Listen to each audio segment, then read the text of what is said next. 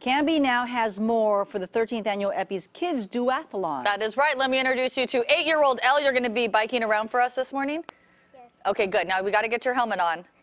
What, what, who is on this helmet?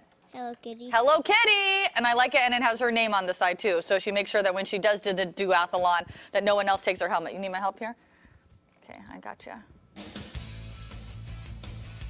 There you go.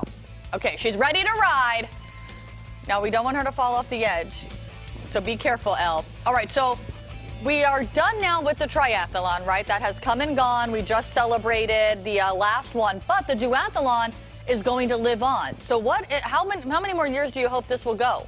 Well, I started with Eppie's Great Race 35 years ago. This is the 13th Kids Duathlon, so I'm hoping we'll hit 45. Okay, now she's going to be biking, but what happens after they bike, or do they run first? What They happens run first? first. Okay. There's three different groups, uh, starting with 13-year-olds all the way down to we've had three-year-olds. Okay. And there's age-appropriate uh, distances from a half mile for the little kids to two miles for the bigger kids. And it happens at Discovery Park. Discovery and, Park. Which is nice about that because the parents can watch the kids go yes, around. Yes, they can. And if parents want to accompany their children, they certainly can do that.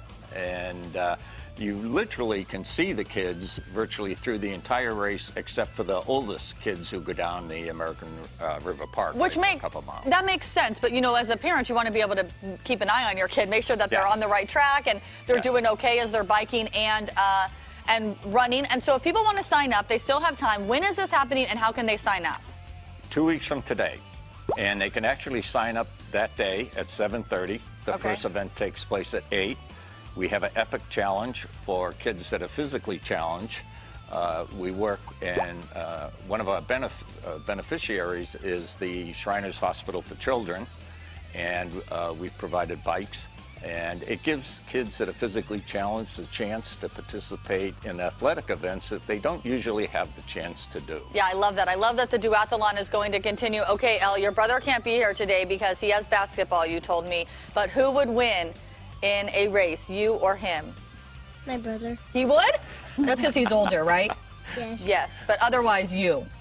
You're, are you? You're pretty fast, yes? Uh, kind of. Kind of. Okay. Well, she knows her strengths and weaknesses. That's something. T. All right, very good. Yeah, she's